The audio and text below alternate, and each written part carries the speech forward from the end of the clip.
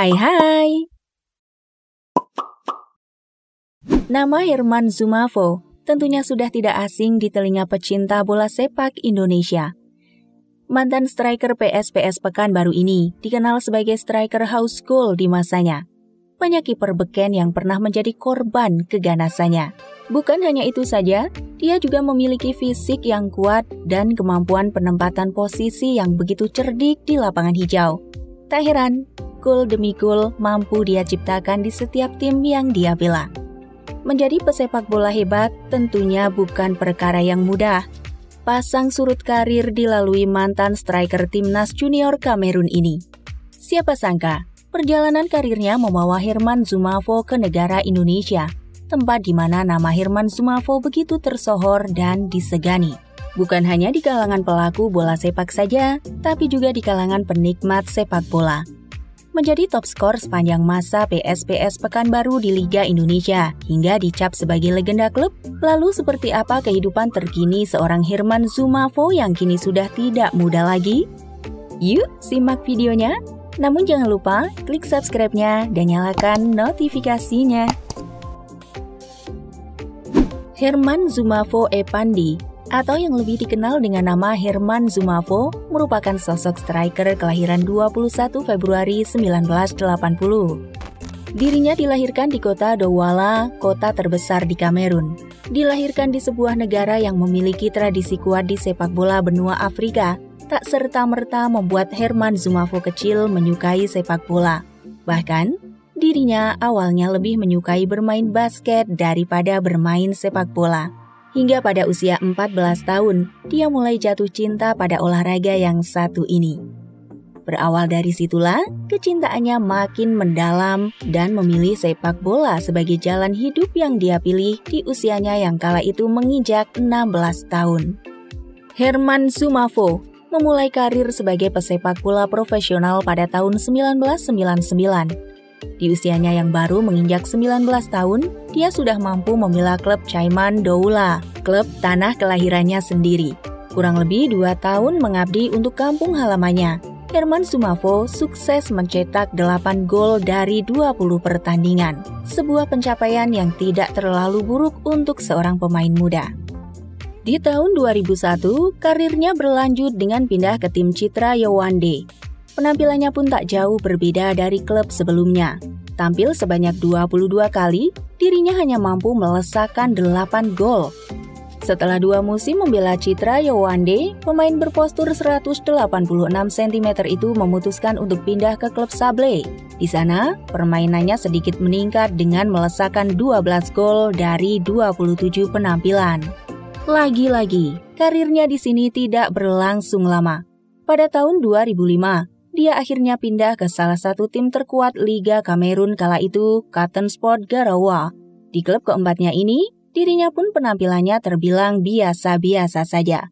Meskipun begitu, dia juga turut berkontribusi membawa Cotton Sport Garawa menjuarai divisi utama Liga Kamerun sebanyak tiga kali secara beruntun.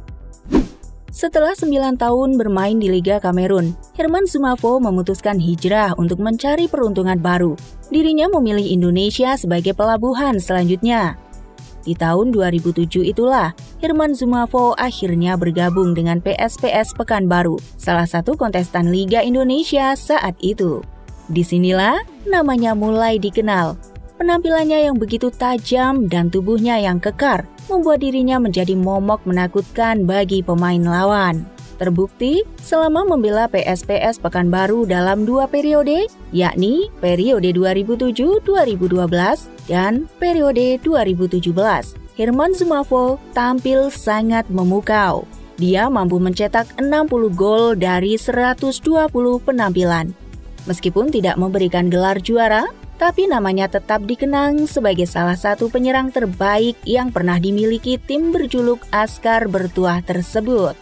Pada tahun 2012, setelah lima musim membela tim kebanggaan masyarakat Riau, Herman Zumavo Epandi memutuskan untuk pindah ke klub Indonesia lainnya, yaitu Arema Indonesia. Di tim berjuluk Singo Edan itu, Herman Zumavo tampil 17 kali dengan torehan 6 gol. Setelah itu, dirinya sering gonta-ganti klub. Tercatat sejak tahun 2012 hingga 2016, Herman Zumafo sudah membela enam klub, seperti Persib Bandung, Sriwijaya FC, Mitra Kukar, Gresik United, Borneo FC, hingga Persela Lamongan. Dari enam klub itu, hanya saat membela Mitra Kukar saja dia mampu menorehkan dua digit gol. Sisanya, dirinya hanya mampu melesakan kurang dari 10 gol. Penampilan yang bisa dibilang jauh lebih dari apa yang dia torehkan kala berseragam PSPS Pekanbaru. Herman Zumafo sempat kembali membela PSPS Pekanbaru pada tahun 2017. Saat itu, dirinya disorot media bukan hanya berkat penampilan ciamiknya, tapi juga tentang dirinya yang resmi berstatus sebagai WNI. Status warga negara Indonesia didapat Zumafo setelah 10 tahun berkarir di Indonesia. Bukan hanya itu saja, faktor pernikahannya dengan wanita asal Indonesia yang bernama Maria Magdalena juga sangat berpengaruh di mana sang istrilah yang memiliki inisiatif untuk mengajukan status kewarganegaraan tersebut. Pada tahun 2018, dirinya pun memutuskan kembali berpetualang. Herman Zumafo bergabung dengan Bayangkara FC. Di sana, Herman Zumafo mampu melesakkan 21 gol dari 65 laga. Bahkan di musim 2021-2022 lalu, Herman Zumafo sempat membela dua klub sekaligus, yakni Dewa United di Liga 2, dan Bayangkara FC di Liga 1. Hal ini sekaligus menunjukkan kalau dirinya bukan pemain sembarangan.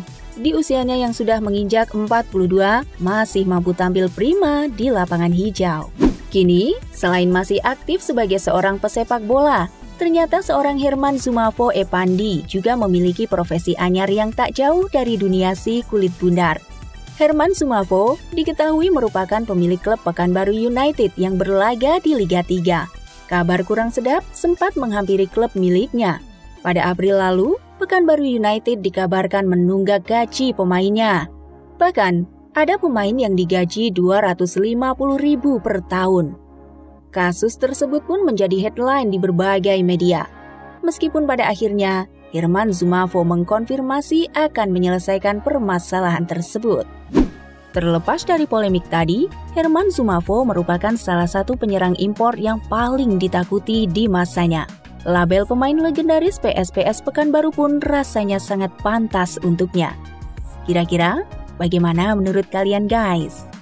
Jangan lupa tulis di kolom komentar and see you next video. Bye-bye.